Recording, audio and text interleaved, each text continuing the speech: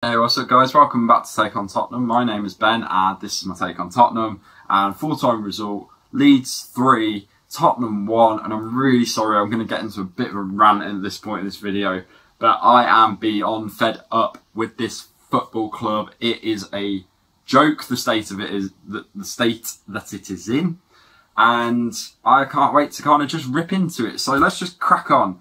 Um, so, same lineup from last week. Mason stuck with the winning formula, um, granted against a relegated team.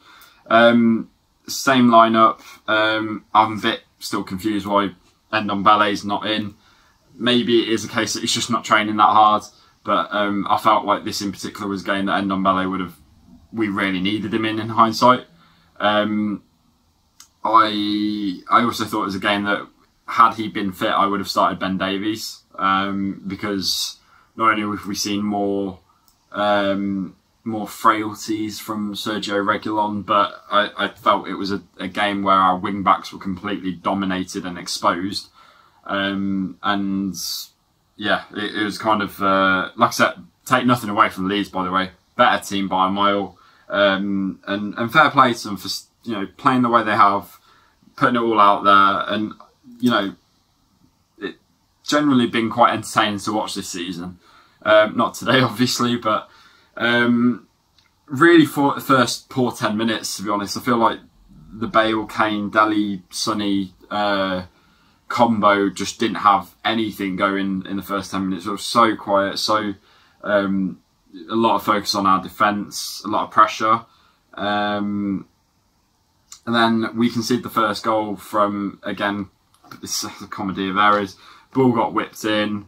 Um, Reguilon not really being aware of anything, somehow nearly scored an own goal. Um, and then a wonderful save by Hugo Lloris, by the way. It was absolutely brilliant save, like point blank save.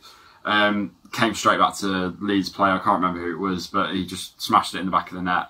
And it was just poor from Reguilon again. Um, so that was a good start. Luckily, we had a bit of a reaction. Um, we had a Sonny score the goal, but Dele Dele did a brilliant little assist for it. Um, held the ball up, held it up, really timed it to perfection, fed Sonny through, and he just whacked in the back of the net. So that was a good reaction. We had a little patch where that combination of that front four of uh, on the left, Kane in the middle on the you know striker, Bale on the right, cutting in on his left, and then Dele in the number ten. Um, looking really good, linking up passes um, look really looking quite positive, but it was such a brief period and we just couldn't keep it up for the rest of the game. Um, Lloris made several important saves again.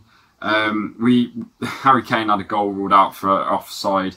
It it was it was harsh. It was it was really harsh. I felt, and, it's not just a bias thing because it got against my team if that had gone for for Leeds and that had been disallowed, I still would have said it was a harsh because I think these fine margins are kind of what I don't know. It, it's a different one. It's what I don't enjoy about quote unquote modern day football. I think things like that I just feel are very, very, very harsh, and I'm kind of wondering how they how they can actually see how fine a margin that is from the screen that we see because I couldn't see anything. Um, but it is one of those that seems to just be regular now. Um, the way I, I, sort of thought best would describe it is Harry Kane, the bit of Harry Kane that was offside was um, maybe his shoelace like got undone and maybe like the little end bit of the shoelace was maybe in an offside position. I don't know, but it is so fine. I'm literally looking at it on the TV now and it is uh, like almost like a hair, hair's length, hair's light, I don't know. Um, so yeah, I thought that was quite harsh, but it is what it is. So, um, it, and again, just to clarify, that doesn't make or break the game. Like I, I don't look at that and go, oh well, we were we were wrongly, you know, if we'd scored that, we would have gone on to win the game. No, no, no. It's about reaction, and the team should have seen that and gone, right, okay, it sucks, but we'll push on, we'll go again. You know, we'll get in that position again, and and hopefully next time we're at need, need VAR. Unfortunately, the team didn't do that. They car- they just carried on a bit all nonchalant and like they didn't give a crap about anything, and then and then just didn't really react to it, and that's not the not what we want to see as fans. Um, then Leeds scored. Um, oh, sorry. Just before that, the the assist from Dele for that goal that went offside. It, again, it was a really good good bit of work from Dele. Had a good first half, sort of ebbed in the second half, but it was a positive performance. Um, and then, yeah, like I said, Leeds got their goal in um, just before before the end of the first half. Again, another problem that we've had quite regular this this um, this season um, in terms of concentration, I guess. Um, Dier, Reguilon, Aurier, all all to blame for it. Um, Dier's distribution headed it out to nobody. Um, Reguilon, half asleep, didn't know he had a Leeds player around him. I think he got fed out on the wide to um, Alioski. Um, and then Aurier, marking wise, went to mark a player that Bale was supposed to mark. So then it let Alioski just have a nice open run to put in across perfectly for Bamford. And then Bamford just ran straight across the front of Dier, who had no idea where he was or who, who was there and Leeds just scored. And it was a really good move from Leeds. But again, I look at it from Spurs' perspective of something that was completely, completely avoidable. And it's just defensive frailties exposed again. The story of the season. Um, and like I said, I keep saying it again, and I'm really sorry because I know he came out and said he feels a bit like a lot of people have made more out of the defensive mistakes for Dier. Where he feels like he's made one or two where reality he hasn't. He's made a lot more than that. But again, I feel like I'm not seeing anything to warrant you being a centre back, and I don't know why it still is happening. Um, second half came out, um, not really much improvement. It was it was a lot different. The first half was very open.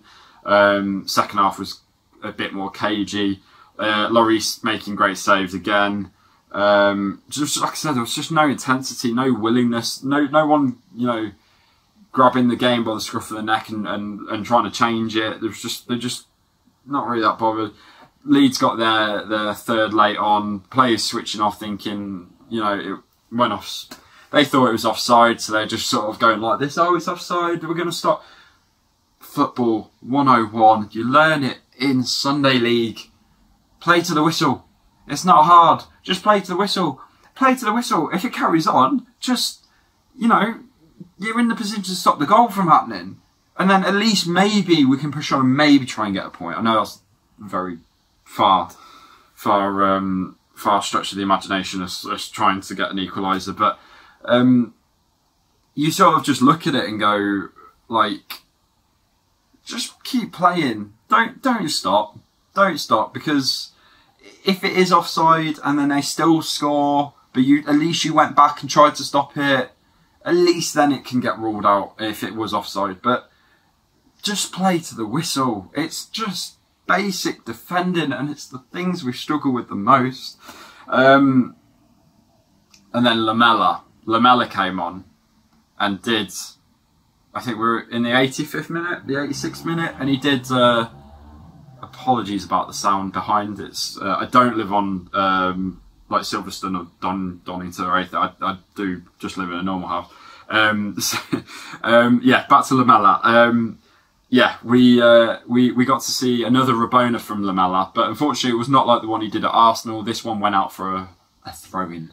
Um, so we're trailing in the 85th minute, 3-1, and Lamela thinks it's a fantastic time to do a Rabona. Because why why wouldn't you do that? When why why wouldn't you do something like that when the when the fans are really pissed off that they're losing anyway? Why wouldn't you do a Rabona? And especially why wouldn't you do it and then absolutely cock it up and put it out for a throw in? Who knows? Um, not done himself any favours that. Um, so I thought players who had a good game. Lloris, there we go. Um, joking a little bit, uh, not really joking too much. Uh, Lloris, man of the match by a country mile. You know, he kept the scoreline down to three-one basically. Um, seemed like the only one who actually gave a crap today. Um, Dele had a really good first half. I felt a really, really positive performance, but second half completely ebbed away. Um, apart from that, Kane really, apart from his offside goal, had quite a quiet game, but was involved, but just was not able to get anything going. Um, Sonny, yeah, he got the goal, but again, it was another game where he was kind of struggling a bit. Um, in terms of bad, Dier, Reguilon, uh, Aurier, even Lucas and Lamela came on and didn't really contribute much. Ndombele, I felt, and this falls more on Mason, came on too late to do anything about it. I think he came on with 10 minutes, 12 minutes to go. It's not enough time to change the game. The game's gone by then. Um, Ndombele should have come on second half, uh, like start the second half. Um, also had such a poor game as well today, so that's why Ndombele should have come on. I was actually ready to um, turn the match off if, Sissoko, if Moussa Sissoko had been brought on. I was at, I don't I'm a fan who watches literally from start to finish most games. Even if we're losing 4 0, I'll still watch to the 90th minute. And, you know, that's just my level of commitment. But it, I, I generally said to myself, when if I see Moussa Sissoko come on when we're trying to chase the game, I'm going to just turn this off because I will have just given up hope at that point. Um, so that's kind of it really for, for the game um, review. But I, I just sort of I look at it and I think right, the top four thread very thin. It was really thin, and Leicester losing. Oh, this is my main issue. I don't know what these players need now to be motivated because they didn't look motivated. Um, they didn't look like they had anything to play for. They talk about it in their interviews, but they didn't look like like they, they had anything to play for. And I'm looking at it going, you saw Leicester lose on Friday, and you're the next game after that. That should have been the motivation. That should have been you going, right, they've dropped points. We're going to be playing them on the last game of the season as well. They've just dropped three points. They've got a really tough uh, run of fixtures as well. We've just got to keep winning matches. Four games to go. Win the matches. I know it's. I know that's very easy to sort of say, but it's like the performance there that I saw. It wasn't a team that could have come off and gone, well, we gave it our all, but Leeds were the better team. We gave it all. They didn't give it their all. They didn't. I've just watched it and they didn't. And I'm like, where's the motivation? What, what is driving these players? I, surely they surely in that change room they would have thought with the run of fixtures that are coming up for us and for not just Leicester, but for the teams around us. If they just keep, if they just got a winning run Four games, that's all it is, four games. They could have put themselves in contention. They could have put themselves as part of the conversation. And like I said, their hopes were very, very thin, but they could have. And now it, it, it's pretty much impossible. But barring a miracle, it's impossible. It, I, I just can't see. I couldn't see it happening anyway. But they had the slim, slim slice of hope for it to, to maybe happen but it's definitely gone now. I can't see it happening. I think we're two points above Liverpool, who have two games in hand, and it and it and, once again, story of the season: Spurs given a gift before kick off, and just not not taking advantage of it. And and it's happened so many times this season. Um, and the problems fall again. That the blame falls throughout the club. It falls on the players. It falls on the manager, regardless of who the manager is like I said, bringing Ndombele in like really late in the game, it's not it's not good enough from Mason on that part. Like it's too late to affect the game. Um, I personally feel like Dele, uh, not Dele, sorry, uh, Dier centre back. It's not a good, it's not a good decision to be making. Um, you know, the wing back setup today didn't work. The wing backs were completely exposed. That this all falls on Mason. Uh, individual player performances. Players getting too comfortable at this football club. They need to. We we need to have a clear out in the summer. Uh, players like Sissoko, players like Dier, uh, players like Lamela. You know, even Lucas. Maybe these players just maybe should move on. Um, we're just sort of seeing it a bit too often each season. These guys just looking a bit too comfortable. You know, position's not really a threat of anything, and and it's just so poor. It's so so poor, and it just needs a bit of a refresh. I just think, and and even I said that it goes up to the top levels of the football club as well. You know, Joe uh, Joe Lewis, Daniel uh, Daniel Levy, ENIC as a whole need to leave over the Super League thing. Of course they do. That you know, you know my opinion on this. But take the Super League thing out. Their reign has shown one trophy in over a decade. One trophy for a club that aims so high and claims to be so high. What have they got to show for it? And then that falls on the likes of Daniel Levy. Like, why didn't you buy a player for 18 months under Mauricio Pochettino? You know, why didn't that, that happen? And we know how he is as a businessman. And yeah, he's done some really good deals in the past. But ultimately, you are judged upon success. And what success have they brought to the football club? you know, it's great to have this shiny new world class stadium, and yeah, it is one of the best stadiums in the world. It is. It's you know, it's wonderful. I, I can't wait for my tour there in in um, in a couple of months. But it's just it it is something that I sort of look at them and go, if if they had a performance review, you'd be out on your ear. You know, do you know what I mean? Like if if this were, if this was an employee review in terms of what they bring to a job, like the, if they're being based upon success, and they kind of are in this industry. This industry is literally just it's a results based industry. The managers always get the cut. What is when are these guys at the top going to be held to accountability for this? Um, I don't know. It, I find it so frustrating at times to think about it, and I I saw him at the game today, and I'm I'm looking at it going, when are you going to take note? When are you going to take note of all this? And like I said earlier, when are you going to take accountability for it? When are you actually going to come out and apologise to the fans for the state that the club is in right now? Because there's no good managers, not no good managers, but the two targets that we wanted, they're not on the table anymore. So now what? Who are we going to go for? Do you know what I mean? It, it just screams as a club that doesn't have a plan.